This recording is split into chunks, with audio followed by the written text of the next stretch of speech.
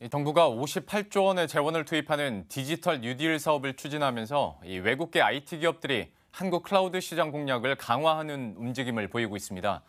이 클라우드 컴퓨팅 인프라인 region을 한국에 설치하고 AI 분석과 컨테이너 기술 등을 제공해 성능을 높이면서도 비용은 절감하도록 지원한다는 전략입니다.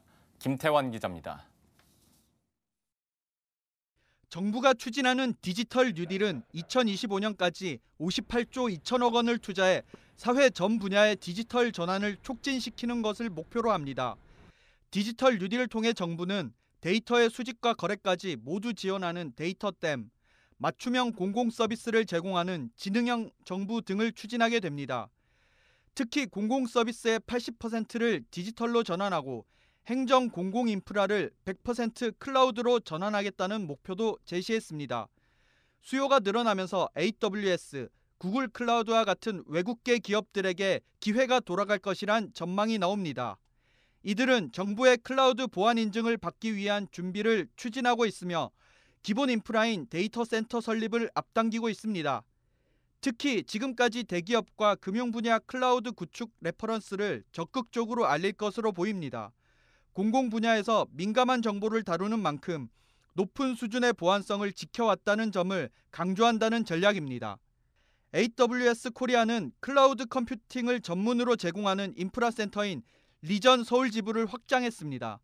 region에는 데이터 센터를 활용해 가용 영역이라는 것을 설정하는데 일반적으로 두 개의 가용 영역을 구성하지만 한국에서는 두 배 규모인 네 개를 설치했습니다. 구글은 지난 2월 서울에 region을 설치했으며 이달 들어서는 중국 클라우드 사업 철수를 결정했습니다. 업계에서는 구글이 한국을 아시아 태평양 지역 거점으로 육성하려는 전략이라고 보고 있습니다. 한국 MS, HPE, IBM과 같은 전통적인 enterprise 업체들도 자사 AI, 컨테이너 기술 등으로 시장 공략을 강화한다는 방침입니다. AI, ML 서비스들이 많이 있잖아요. 그래서 저희가 그, 그 저희도 이제 공공 쪽, 뭐 commercial 쪽뿐만이 아니고 공공 쪽도 그쪽 서비스 관련해서 그 고객분들 많은 요청이 있고 그래서 뭐 저희도 그 맞춰서 이제 준비를 하고 있어요. 당연히 뭐 정부에서 나오는 어떤 그런 건 뭐 당연히 중요하게 보, 보겠죠. 이제 뭐. 그 글로벌 뭐, 그러니까 그런 클라우드 사업자들이니까 당연히 뭐 저희뿐만이 아니고 이제 뭐 다른 회사도 마찬가지일 거고요.